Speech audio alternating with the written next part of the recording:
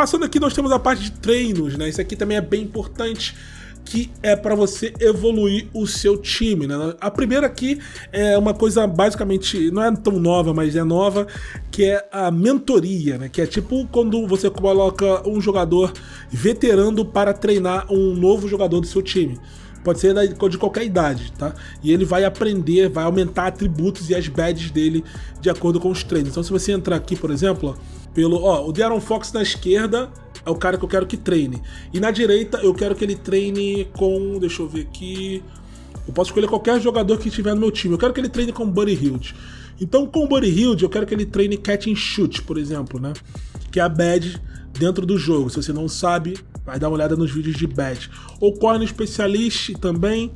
E aqui Hot Zone Hunter. Pronto, você só pode escolher três badges para ele treinar. Então eu quero que o Buddy Hilde treine o De'Aaron Fox para melhorar essas badges. Então aperto Start aqui e coloco o Buddy Hilde como treinador do De'Aaron Fox. Isso é muito importante para você fazer durante o seu jogo. Então tem muita coisa para você fazer, cara. Apertando o triângulo você tem aqui a explicação das badges também. E você pode colocar qualquer jogador para treinar. Por exemplo, quero que o Ali Burton tá treinando já com Harrison Barnes. Enfim, você pode contratar jogadores só para isso e isso é muito importante. E aqui o treino do time, essa parte aqui é muito importante, preste atenção também. Tem o treino físico, treino tático e treino de fundamentos. No treino físico você pode colocar balanceado, treinar driving dunk, treinar lateral quickness, velocidade, estamina. Enfim, você pode botar o que você quiser. Ou você pode colocar aqui um custom. Por exemplo, eu quero que o time treine. Pô, o time tá muito lento. Eu quero que ele treine mais ó, vou botar aqui, ó, sei lá, 10% de aceleração e 10% de speed também, certo? E aí você, você tem 100%, claro, você pode simplesmente depois ir colocando aqui o que você quiser. No caso tático é a mesma coisa, eu quero que o time, você pode colocar química, time, é, defesa do time, é, visão, pick and roll, é, defesa de pick and roll, é, ataque, defesa, quero que o time treine mais defesa essa semana ou esse mês, você pode mudar, ou você pode botar simplesmente é, custom, né? Você pode colocar o que você quiser. Ah, eu quero que o time treine, pô, defesa de perímetro, tá tomando muita bola de 3, então vou botar 20% aqui e o resto eu vou botar pouco. Aí vai de você. E isso é importante você colocar. E aqui, uh, o fundamento é a mesma coisa. Você pode botar para ele treinar driving layup. É os atributos, tá? É, o passe, o fadeaway, rebote ofensivo, defensivo. É, e aí vai de você o qual é a sua a, qual é a deficiência do time, certo? E aqui o desenvolvimento, é você vai acompanhando o desenvolvimento do time, aqui as lesões, aqui o, o período de treinos, né? Ó. Cada dia que vai ter treino, jogo e treino, você pode colocar, por exemplo, ah, ah, como aqui vai ter três dias de treino, eu quero que seja um treino. Ele tá médio, quer ver? Ele, tá, ele tá médio ali o treino, tá vendo? Você pode simplesmente mudar é, o, o, tipo de treino que você quer que o time faça. Você, só você mudar, por exemplo, você pode vir aqui, ah, aqui eu quero que treine. Sei lá, aqui o foco vai ser. Eu quero que treine muito forte porque não vai ter jogo. E aqui também eu quero que treine forte também, intensidade e pronto, tá ligado? Você pode simplesmente mudar na hora o treino e é muito importante você ficar prestando atenção nisso, porque isso ajuda o desenvolvimento do time, certo? E aqui você pode mudar o treino de cada jogador individualmente, ó, que é o que Darren Fox, por exemplo. Sei lá, o Darren Fox tá, tá armando mal ou arremessando mal.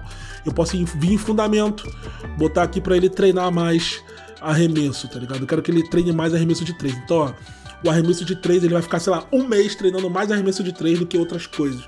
Então você pode fazer e deve fazer isso. E isso ajuda muito no desenvolvimento dos seus jogadores, certo? Então, você pode fazer isso para qualquer jogador aqui, obviamente, certo?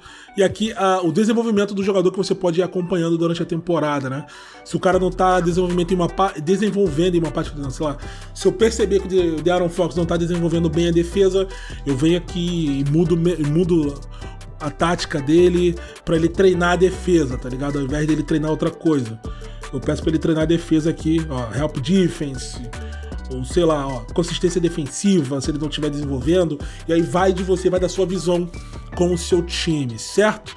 E aí é a parte aqui de treinos. Expansão é o que eu falei no começo, você pode expandir a liga e colocar mais, mais times.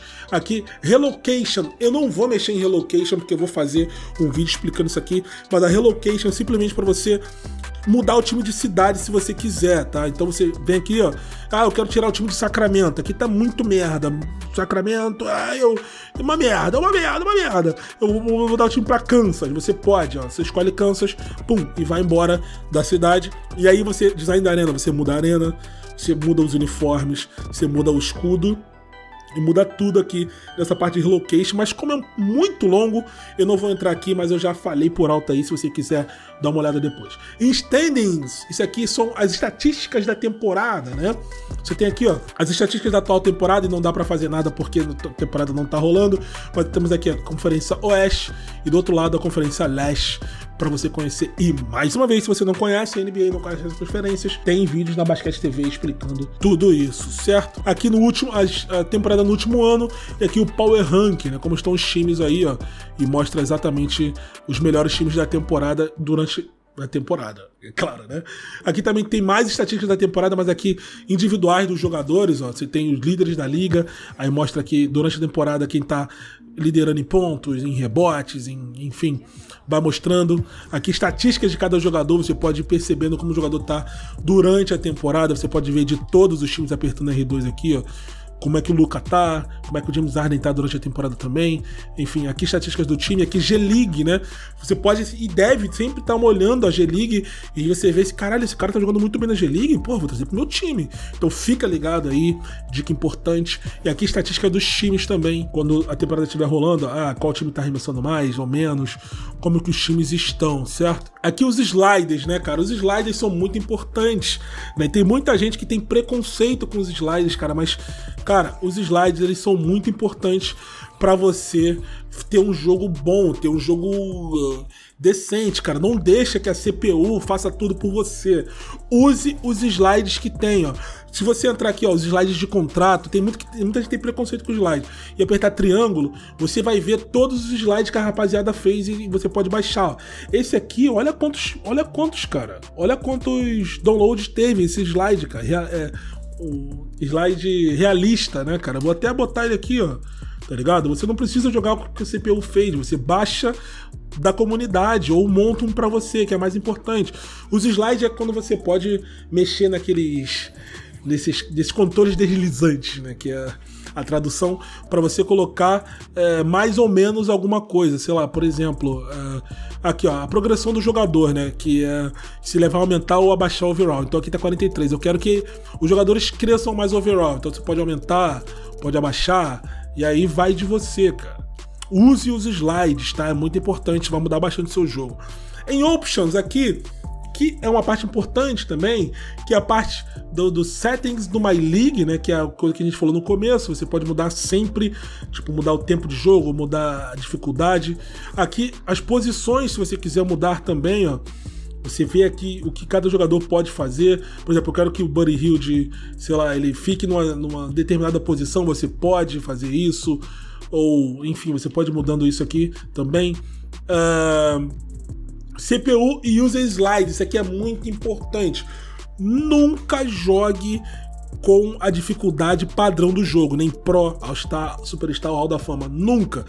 Sempre mexa individualmente, você mesmo, que você achar que tem que mexer. Mas a minha dica é: aperta o triângulo Y e baixe o slide da comunidade. Ó baixe qualquer um. Esse aqui teve muitos downloads e 44 updates. Então vou baixar esse aqui e perfeito, não mexe mais nada. Esse aqui já deve ter tido muito teste, muita gente testou e jogou e gostou. Então vou deixar esses slides aqui que para mim vai ficar muito mais realista. Cara, não jogue com os slides padrão do jogo porque você vai ter uma experiência horrível e vai ser muito ruim. Baixe os slides. Aqui é, aqui é a coisa que aparece uh, rolando ali embaixo, né? Não sei se vocês perceberam, mas ali embaixo da tela, tá vendo? Tá passando as informações ali, ó. Então você vem aqui, ó. Para você mexer nessas informações, é aqui, ó, ticker settings, ó. Eu quero que apareça que role rápido, médio, grande, apareça o draft, não apareça, o voto do All-Star ou não, enfim. Isso aí você mexe aqui. Isso aqui é para você salvar. Isso aqui não preciso nem mostrar Você quer as automações da liga, né? O que você quer que deixe automático ou não, certo? Uh, mudança de jogo, trades, enfim. Isso aqui você precisa muito dar uma olhada também. Settings aqui é a dificuldade do jogo, a velocidade do jogo. Eu sempre jogo no 55 de velocidade, você pode aumentar ou diminuir se você quiser.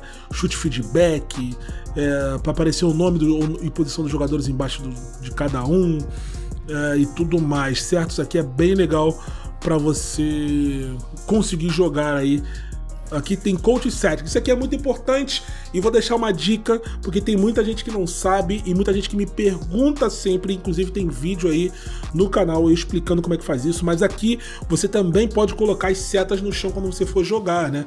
Então é só você colocar mexer nas configurações, tá vendo aqui, ó? Você pode botar as substituições auto ou manual, né? Automático ou manual. Eu sempre deixo automático para não ter que ficar mexendo nisso. Uh, método de substituição quando estiver cansado ou rotação. É, aqui é para mostrar jogadas, ó. É, a visão das jogadas para todas e aqui para mostrar a jogada completa e aqui para sempre mostrar para todas as chamadas, todas as jogadas chamadas do time, seja na defesa ou no ataque, vai mostrar sempre as setas no chão. Então só se você botar essas opções exatamente como está aqui, que vai mostrar as setas no, som, no chão do seu jogo. Aqui para chamar jogadas automaticamente na defesa e no ataque é muito importante e as outras opções aí é, do seu jogo, certo? Aqui, é, é, configuração de controle para você botar ou tirar o, o, release, né? Que aparece lá a barrinha subindo ou descendo. Lembrando que se você deixar sem barrinha, você ganha um boost, né? Você ganha é, um pouco mais de arremesso, mas aí você precisa é, se acostumar com, sem a barra, né? É mais difícil. Uh, e tem todas aí as opções de controle, que isso aqui não interfere tanto no seu jogo, é mais para melhorar a sua qualidade de partida ali. Isso aqui é pessoal de cada jogador, certo? E aqui para você salvar, né? Aqui para você salvar é, automático, né? Sempre dá um save. E aqui para você criar um, um, dois, três, quatro saves novos se você quiser, né? Se você tem medo de perder o save que você está jogando. E eu acho que é isso aqui com relação ao menu Bom, rapaziada, chegamos ao final da temporada regular aqui do Sacramento Kings e eu simulei todos os jogos até aqui a última semana. E você pode ver ali embaixo o recorde do time, 35 vitórias e 41 derrotas, é ali a química do time tá por volta de 70%. E lembrando, né, para você, é, cada jogo aqui do, do, calendário, você clica em cima do jogo, você pode jogar a partida que você quiser, você pode simular com cash, sim cash, é aquele, aquela simulação que aparece os bonequinhos correndo, né? Que é a simulação do Brasfoot, que a gente já sabe há muito tempo, certo? Você pode simular só a data, simular a temporada regular inteira, ou simplesmente ver o que, que tem na temporada, ou forçar a vitória, e aí eu acho meio sem graça, né? Por exemplo, eu gosto muito de simular com Cash você entra aqui e você pode dar uma olhada ali no que o treinador tá pedindo para você fazer, a galera tá pedindo. Jogar o jogo, você pode simular a partida. Você pode simular a partida aqui. E você vai minuto a minuto, botando pro lado aqui, ele vai mais rápido no analógico. Ó, e você pode simplesmente, se você quiser, stop, dar um stop, e no play game você entra dentro do jogo. Você pode entrar em qualquer minuto no jogo para jogar, você vai simplesmente dentro da partida sem precisar começar uma outra partida. Você pode simular sempre, sempre entrar na hora que você quiser. Então, ah, o jogo aqui tá acabando, o placar tá apertado e eu quiser entrar no jogo, é só você clicar e entrar no jogo. Eu não vou entrar aqui porque senão vai atrasar pra caramba aqui a minha gravação, mas é só você entrar e jogar a hora que você quiser. Certo? Você vê aqui como é que tá a box score, né? Você vê como é que tá os números dos jogadores, como é que tá a partida, quem tá marcando quem, pode mudar a rotação, pode fazer o que você quiser aqui durante a partida, certo? Eu vou continuar a simulação, só parei aqui para mostrar para vocês mesmo como é que funciona essa parte. Então o time venceu aí o Lakers dentro de casa 116 a 101.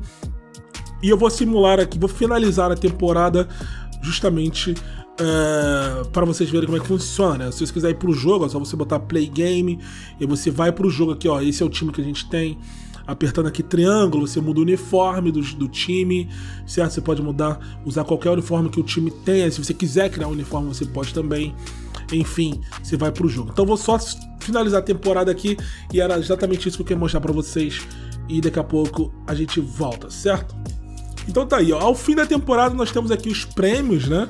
De cada temporada, o melhor jogador, o novato, o defensor Enfim, isso aqui pode mudar de acordo com o seu jogo, de acordo com o que está acontecendo durante a temporada, certo? Aqui nós temos o time da NBA, o primeiro time. Isso aqui é só premiação, eu vou passar por, rapidinho por isso aqui. É uma coisa que não tem muita importância para o nosso tutorial. Aqui chegamos aos playoffs, né? E você percebe que, infelizmente, o que não era, não é nenhuma surpresa, nós não nos classificamos para os playoffs, né? Mas, se eu dar uma olhada aqui, por exemplo, ó, vamos ver como é que ficou o, o draft, por exemplo. Ó. O Thunder tá com a primeira pick, o Houston com a segunda, o Brooklyn com a terceira. Tá vendo aí, ó? Deixa eu ver meu time aqui, ó. O Sacramento com a décima terceira escolha do draft até o momento, certo? E estatísticas da temporada você pode ver uh, líderes de cada time, uh, estatísticas dos jogadores. o Darren Fox fez 20 pontos por jogo, enfim, Buddy Hilde. Você pode ver o que você quiser durante a temporada e também ao fim dela. Então deixa eu simular aqui os playoffs. Vamos ver quem é que vai ganhar, quem é que vai ser campeão, para a gente ir para off-season e ver sobre os contratos, certo? E as trocas e contratações e tudo.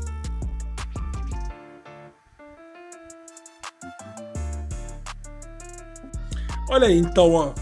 Lakers campeão, LeBron James MVP das finais, ele é viciado, né, cara? Ele é viciadinho.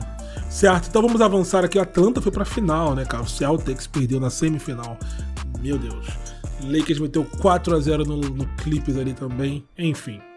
Então tá, chegamos à off-season, né, cara? Agora vai ficar um pouco mais longo também, mas você pode ir pulando aí de acordo com o que você queira ver durante aqui o nosso tutorial, certo? Bom, a primeira opção aqui nós temos os jogadores que estão se aposentando, né? Então você vai, pode entrar e ver quais jogadores estão se aposentando. E tem inclusive o Nenê aqui, o brasileiro, de Ares Mitchell, o Varejão também brasileiro, muitos jogadores se aposentando. Você aperta o start para ir avançando, certo? Aqui os treinadores ou assistentes que estão se aposentando, Popovic aí, grande Popovic, se aposentou. Aqui os jogadores que estão indo para o Hall da Fama, LeBron James indo para o Hall da Fama. LeBron se aposentou e não vi? Não, né? Não, não se aposentou, não. Bom, uh, que camisas que estão se sendo aposentadas, LeBron James e na, no Miami e no Cleveland. Cara, LeBron James tá se aposentando, velho. Aqui, o, o, aqui é muito importante, cara. Preste atenção. Aqui é mudanças que podem ter na liga, né? Então, ó, tem muita coisa aqui que pode mudar e pode impactar o seu jogo. Pode mudar, sei lá, número de trocas, ou pode entrar aqui que vai entrar mais um time, mudanças na loteria, ou sei lá, posse de bola vai baixar de 24 segundos para 20, enfim, substituições. Então você precisa entrar aqui e votar a favor ou contra de mudanças no jogo, certo? Então preste atenção aí para você acabar não tendo mudança no seu jogo e você não saber por que aconteceu isso, certo? Aqui, ó, você pode mudar, ó, você pode adicionar um time se você quiser ou mudar o time de, de coisa, né? Mas como eu tô controlando só o Sacramento, eu não consigo fazer isso. Uh, aqui para você, calma. Aqui é a, loteria do draft, né? A gente viu como é que tava o draft ali, né? Olha aí, ó, a loteria do draft é do primeiro ao décimo quarto time. Lembrando, vai lá na, na Basquete TV e vê como funciona o draft, para você saber o que é loteria, o que não é, o que é isso aqui, enfim. Não vou ficar explicando em detalhes porque já tem vídeo só para isso na Basquete TV. Mas aqui é a loteria do draft, eles vão é, fazer um sorteio para ver quem vai ficar com as três primeiras escolhas, né? Então eles vão sortear a primeira, a segunda e a terceira escolha entre os 14 times da loteria. Então o New York Knicks tem 1% de chance de pegar uma das três primeiras picks e por aí os três primeiros têm o mesmo número de chances, né, com 14%. Isso varia uh, do primeiro ao décimo quarto. Então, vamos fazer aqui a loteria. Ó, o Thunder ficou com a primeira escolha, o Wizards com a segunda, uh, o Thunder de novo via Houston com a terceira. Meu Deus, o Thunder deu muita sorte. O Thunder pode pegar o LeBron James e o Carmelo Anthony, ou o Wade, tá ligado? Nessa classe do draft que a gente botou. Bizarro, né? Nossa, muita sorte. Enfim, Vamos lá. Aqui é para você assinar com treinadores, tá? Você pode assinar com treinadores, assistentes. Isso aqui é muito importante, tá? Eu vou avançando aqui, vou deixar até para pegar automático, mas você olha cada um, é, as forças do treinador, é, ofensivo, potencial, vê cada um para você montar a sua staff direitinho, certo? Vamos avançar aqui, ó. Os dias E nós chegamos aqui nos coaching dos jogadores. Coaching é oleiro, né, cara? Você é, simplesmente treinar os jogadores que vão vir do draft. E como eu falei, essa aqui é a classe do LeBron James, né? Então, LeBron é classe de 2003. LeBron, Carmelo, Wade, Bosch, né, cara? Essa classe aqui dizem que é uma das melhores classes de todos os tempos aí da NBA, justamente porque tem LeBron James, tem vários jogadores aí lendários nessa classe. Então você pode simplesmente pedir, você pode adicionar o seu draft board, né? Você pode adicionar o seu, as suas preferências para você pegar depois, enfim. Você pode mudar a classe do draft aqui se você quiser, ó. Ah, eu botei essa classe aqui, mas eu, pô, mano, me arrependi. Você vem aqui, dá load, vem aqui e bota uma classe de 2021, por exemplo, vai entrar os moleques de 2021 ao invés de ser essa de 2003. Você pode mudar na hora que você quiser. Então a classe do draft aí certinho, ok? De Cunningham, Kuminga, Jalen Suggs, Jalen Green, enfim, a classe que vocês já conhecem uh, da NBA e vocês gostam, né? Então você pode mudar isso. Ó, Scott Barnes, Jalen Green, uh, David Mitchell, Keon Johnson. Você pode mudar a classe na hora que você quiser, certo? Eu vou botar só a classe do LeBron James porque, porra, tava engraçado pra caralho, né? A classe do LeBron James. Então, deixa eu voltar com a classe aqui histórica de 2003, que é a classe do LeBron James. Vamos deixar ela e você pode mudar a classe do draft na hora que você quiser, certo? Então vamos avançar aqui. Uh, draft Combine é para você treinar, é para você dar uma olhada nos jogadores aí, para você ver quem é o mais rápido, mais lento, quem pula mais, quem arremessa mais, quem é, enfim, quem é que vai se sair melhor nos treinos com você, certo? Você vê isso com calma. Estou avançando aqui porque é muita informação. Aqui os treinos, ó, eu quero treinar o LeBron, o Carmelo, o Wade e o, e o Bosch. Eu sei que eu não vou ter escolhas para pegar nenhum desses jogadores, mas eu quero treinar só eles. Beleza? E aqui o draft, né? E aqui a gente vai pro draft, você pode ver escolha por escolha aí do draft, ó. Com a primeira pick do draft, LeBron James para o Oklahoma City Thunder. Olha que loucura, hein? LeBron James, ó. Essa é a classe de 2003, você pode botar a classe do Jordan. Você pode botar qualquer classe da NBA de qualquer ano, ou você pode baixar uma classe, como a gente viu ali, é, de um time, classe futura, de 2021, 2022. E aí não é a 2K que faz, é a galera da comunidade, ó. O Wade foi para o Wizard, que maneiro, né? Vamos ver quem o só quem o OKC vai pegar. Vamos ver só as cinco primeiras escolhas. Vamos ver. Vamos ver. Carmelo Anthony. Então, LeBron James e Carmelo Anthony em Oklahoma. Que maneiro, né, mano? Muito inusitado. Aí você pode botar a classe você quiser, cara. Isso é bem legal, inclusive. É... Olha aí, Steve Thompson não pegou o Bosch, hein? Pegou o Steve Thompson, o Detroit, né? Vamos ver só para onde o Bosch vai. Deve sair agora pro. Vamos ver. Terrence McKnight. Bosch não saiu. Bosch caindo no draft. Bosch caindo no draft. Interessante. Não saiu ainda o Bosch, velho. Terminado aqui o draft, deixa eu só ver pra onde o Bosch foi. Bosch foi pro Cavaliers, olha aí, ó. Olha para onde foi então o Bosch. Então ficou assim o draft, certo? Vamos avançando, ó. aqui é para você assinar. Peguei o Canon, mano, meu Deus do céu. É, vamos só avançando aqui, ó. Aqui os jogadores Team Option, né? No caso. É, e eu já expliquei, né? A diferença de Team Option e Play Option, eu falei no vídeo já, se você não viu. Volta lá no 2K Card dos jogadores, eu explico sobre isso. Mas basicamente é Play Option, o jogador tem a escolha de ficar ou não no seu time, e Team Option você escolhe se o jogador vai ou não ficar no time. Por exemplo, eu não vou ficar com esse Justin James, mas o, o, o Boucher, não sei se é assim, Boucher, ele vai ficar, certo? Uh, e aqui você mostra exatamente dos outros times, né? Ó, o Kawhi tinha um player option, ele declinou, ele não vai ficar no, no Clippers, então ele vai pro mercado Ó, o Julius Randle ficou, o Shai ficou, o Chris Paul ficou, enfim. Você vê de todos os jogadores. Ah, aqui é para você é, colocar os jogadores que tá para você fazer uma oferta qualificatória, né? para você é, fazer como se fosse uma extensão de contrato com os jogadores, é, mas eu não vou aceitar nenhum deles e é isso. Vamos embora.